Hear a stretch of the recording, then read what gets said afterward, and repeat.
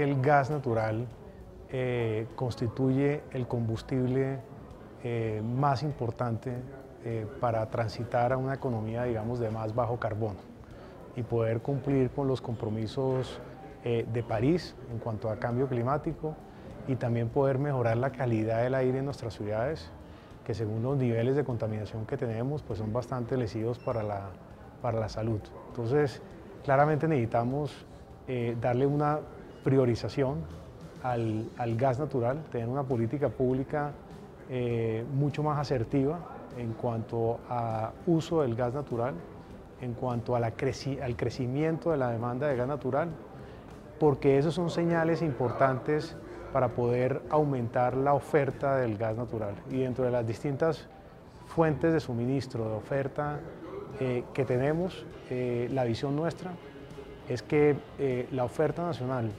y la infraestructura de regasificación o importación no son excluyentes. Uno debe desarrollar y apalancar el desarrollo de los proyectos para encontrar gas en el país. Eso nos va seguramente a generar precios competitivos que son fundamentales para el crecimiento de la demanda.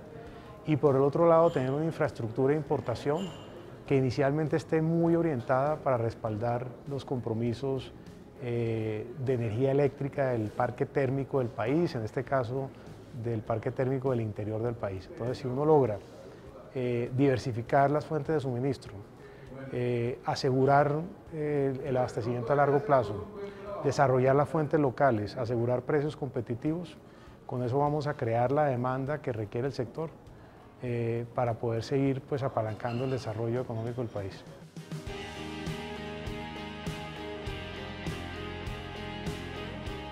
Lo que nosotros hemos visto es que la demanda, digamos, no térmica de gas natural está garantizada hasta el año 2025. Si, si hay un sector que requiere, que requiere el gas antes del año 2025, es el sector térmico. Por eso pensamos que casa muy bien, sobre todo con esta discusión de Ituango, eh, que el parque térmico del interior del país esté respaldado con gas natural importado y no con, con diésel.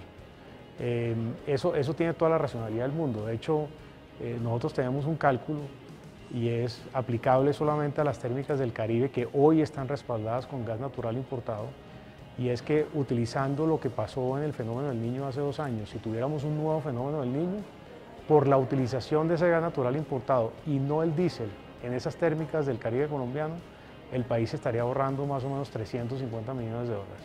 Lo mismo debería ocurrir con las térmicas del interior que hoy están respaldadas con diésel.